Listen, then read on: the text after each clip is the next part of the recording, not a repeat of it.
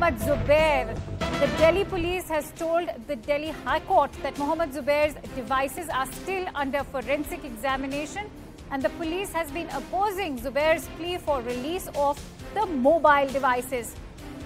This is the latest we are bringing to you. Ananya Bhatnagar joins me with more details. Uh, Ananya, this is indeed a very crucial turning point. Uh, how will this impact the entire case now?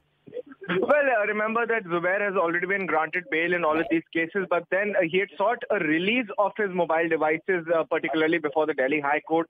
And now uh, the Delhi police in its affidavit, it's, uh, it's around a seven to eight page affidavit that the Delhi police has filed uh, oper- operatively, and which is clearly said that the mobile devices of Zubair from which these alleged tweets were made has actually been submitted before the Forensic Science Laboratory Rohini and is currently being examined by the forensic experts. And uh, after the data extraction is complete and the analysis of these uh, statements uh, of, of, all the electronic data is done, then only the devices can be returned. Uh, at this point of time and at this juncture, the devices cannot be returned is the, what the Delhi police says.